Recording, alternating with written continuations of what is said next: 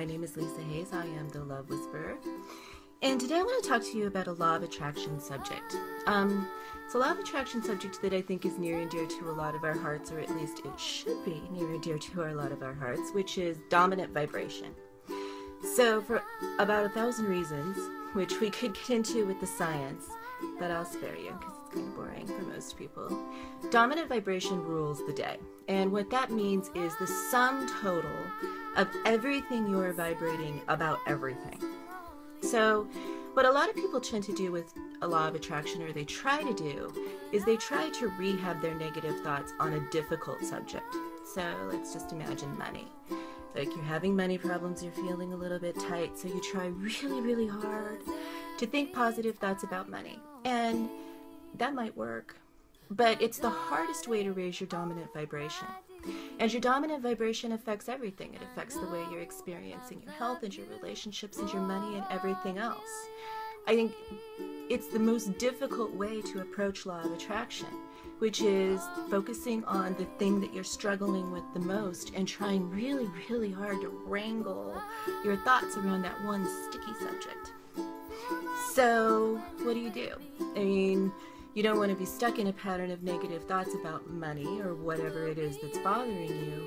I think the easiest way to manage those negative thoughts is not to manage them at all. Like, get off of it. You can't be thinking about money while you're thinking awesome thoughts about something else. Stop concentrating to the best of your ability on the thing that's bugging you, and maybe even more so, stop concentrating on trying to fix your shitty thoughts Instead, concentrate really intently on all the other wonderful things that are going on in your life.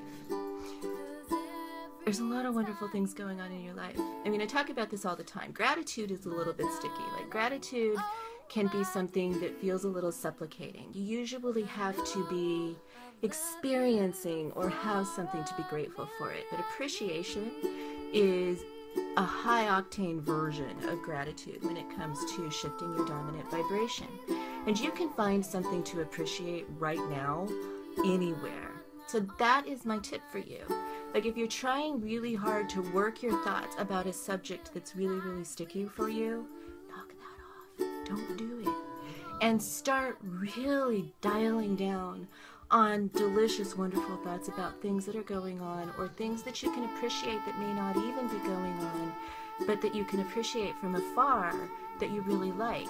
Because when you shift the focus of your thoughts to those things rather than trying to fight yourself over your shitty thoughts, your dominant vibration goes up. It's the saying, what is it? A rising tide rises all the boats or something like that, but it's true. If you can get off the subject that's bugging you the most and concentrate on subjects that delight and inspire you, the thing that's bugging you the most is going to shift and transform before you know it anyway. So, big love to you.